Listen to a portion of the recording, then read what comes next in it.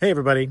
You know, I, over the years, I've had a, a, lot of opportunities to help a lot of veterans. As a veteran, you may not know this if you're not a veteran, but veterans, what they do to their body, what they're exposed to, the injuries that sometimes they experience when they're serving our country is far beyond anything most of us will ever experience in real life. Aside from thanking you from the bottom of our heart, veterans, it's, it's really our honor here in our office to help a lot of veterans. And we see folks come in that have really bad chronic headaches. They have low back pain, neck pain, different injuries, you know, cause different joint problems. And it really affects their life. It affects their quality of sleep. It affects their ability to work. It affects their ability to exercise, do things that they enjoy. And so many of our veterans tell us that after they start receiving regular chiropractic care, that it's really the one of the only things that's really made a huge impact in their life. Oftentimes at the VA, they, all they do is they give them drugs, they give them medicine, they just give them pain medicine, and they just keep giving them pain medicine, and that's what they keep giving them. And chiropractic approaches the body differently. The body has an ability to heal, and we do that without drugs, and without surgery, and we find that there's a lot more improvement in the quality of life that these veterans can receive. If you are a veteran and you are looking for something different, we can help you uh, figure out how to get the VA to refer you to our office to get chiropractic and massage therapy to help you live a better life.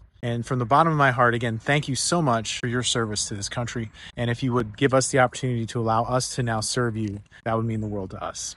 Thank you.